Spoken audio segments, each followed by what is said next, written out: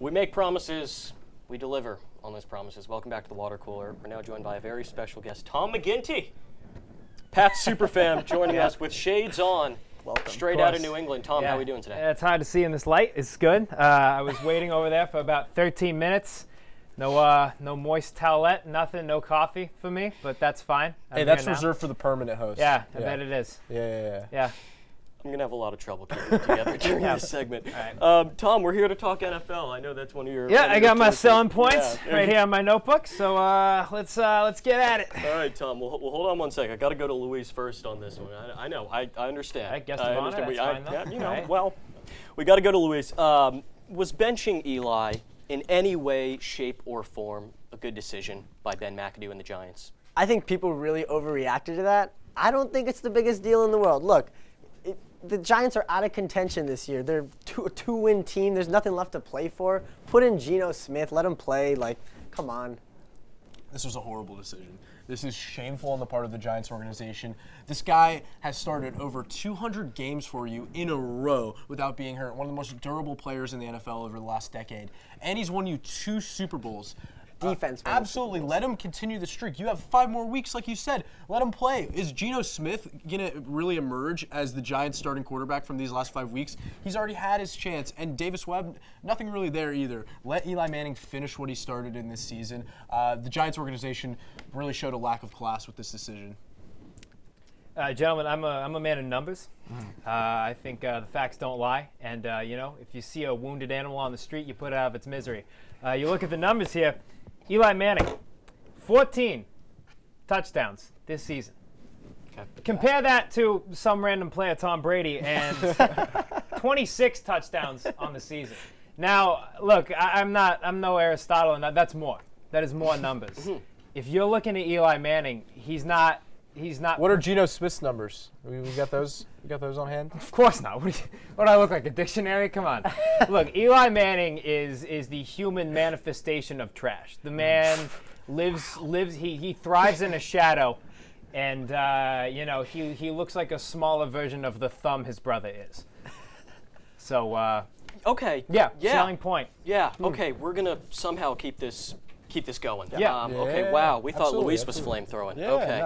no, Uh, it's good. I'm ready to go. I'm ready to go on, toe to toe. I'm ready to go toe to You're, toe. you're asking You me think to that's a hot take? That's not asking even. come on the show. We're not pillow fighting here, Josh. We're not pillow fighting. No, we're not. It's for the Commonwealth. Well, I'm ready not to go. I'm ready to go. We've got we've got three more, so let's let's keep this rolling. NFL Rookie of the Year. Obviously, Alvin Kamara. He has rushing yards, uh, receiving yards. He's really the focal point of that offense. He's been incredible. Got to go with Alvin Kamara as well. He's really been the focal point of the whole offense, taking the job away from Mark Ingram, an established like veteran in that NFL team. But uh, yeah, Kamara's the guy. You know, Josh, you look at a guy like Derek Rivers. You know, he's uh, the first guy in the gym, last guy to leave. You don't see that kind of dedication come from anybody else but uh, Tom Brady. And Derek, you, you want to see that in a rookie. It shows Who's- dedication. Who's Derek River? don't I, even I know. I saw this one coming from a mile away. Yeah. Uh, from a mile away. it's a Never heard rookie on their team. They didn't have like he any is the he is the shining north star of this league. You can see him from from from two miles away, Josh. two miles. Two miles. Derek Rivers, rookie of the year. over Alvin Kamara. Uh, Yes. That is. I think it's a tight race. Uh, it's gotta Oh be my close. goodness. It's got to be close. My pick's Rivers. Pick is Rivers. Next topic. We have an answer. Luis. Yes. NFL MVP. NFL MVP. I like Carson Wentz. I got to go with Carson Wentz. He's been leading that Eagles team, uh, coming off a bad season last season. One of the most improved players for sure, but really looked at his touchdowns, his yards, and his wins. It's hard to beat. I don't, I don't know if you can beat Carson Wentz. Russell Wilson puts the Seahawks on his back. I know it hasn't been necessarily the best season, but he's putting up the numbers. I don't think there's a player more valuable to their team. Uh, no idea who he's going to say uh, for this answer. Yeah, look, I, I flew across the country for this show. I'm a, I'm just a messenger of the people. Um, and you know, you're coming in here. Oh, he's gonna say Tom Brady. Well, of course, but uh, there's always debate. If we're gonna offer some other names, I'd just like to throw out a few, if you don't mind. If you, Trevor, if you would mind just keeping quiet. Uh, Jimmy Anderson, great season. Bobby Jones, Joe Nelson, Sandy Martinez. These names not. No, Keep No, going this down sounds like a, is this Is the this practice the squad? Mike Is the- Timlin. Practice squad. Mike Timlin had a great season. Derek Lowe. fantastic as well. You got Jason Varitek. I'm He's hearing been some playing 04 great. Red Jason Sox. Varitek. Tim Wakefield, Nomar Garcia See him, he's playing great. These And, guys still uh, alive? Or? These are the members of the 2004 Red Sox, gentlemen. the 2004 Red Sox. In case you forgot, I'm here to remind you. Okay? Tom, thank you for that. You're welcome. That, that's great. You're welcome. Definitely a great insight for the NFL MVP discussion. yeah, I think it fits in really well. Yeah, absolutely. Um, biggest dark horse team. I got to go with my formerly San Diego Superchargers, now the LA Chargers. Um, they started out 0 and 4, have now improved to 5 and 6. Philip Rivers firing on all cylinders. Um, obviously, they got Melvin Gordon, um, Joey Bosa, Melvin Ingram, best uh, defensive pass rushers uh, in the NFL right now. Uh, one problem with that, the Chargers can't win close games. They've lost five by a touchdown or less. They're just not clutch, man. You know who is clutch? Uh, I'm re- might uh, might eat my words a little later, but the Atlanta Falcons are a turning into a Super Bowl contender. They really turned a corner after their win against the Seahawks a couple weeks ago. Nice win against the Buccaneers last week.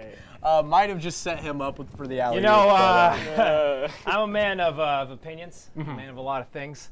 Um, you talk about underdogs. America loves an underdog. Sure. Take a scrappy team from New England. Everybody, every year, they say these aren't the guys. They don't have the pieces. Such me- underdogs. Such underdogs. And, uh, you know, coming out of New England, coming from the smoldering cloud of, uh, of the great Northeast, you got a team like the New England Patriots. I'm, gonna, I'm just going to toss this in the mixing pot here. Yeah. Coming off of what? Coming off of what? You know, maybe a lawsuit here and there. These are the guys you want on your side. These are the guys at the end of the day, gonna bring you one ring. No. Two two rings? No. Falcon's not gonna bring you two rings. Okay, Falcon's not gonna bring you two rings. Not after not being able to hold on to uh, what? What was that? Here it is. Here What- it took is. him longer oh, than expected. Oh, did we It took him forget? longer than Did we forget? Here it is. Here it Took him longer. Yeah. Did we forget? Yeah.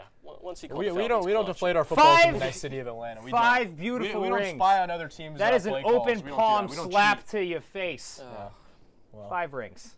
Patriots my pick. I've got Big one quick question for you, Tom McGinty. I got one long answer. um, oh, okay, sure. Yeah. Um, don't mention the 04 Red Sox, but yes. a team that's given the Patriots a little bit of trouble, maybe Mm-hmm. more than any other team, the Ravens. What do you think about playoff discussions for them? They're currently the number six seed if the playoffs started today in that AFC. Look, look.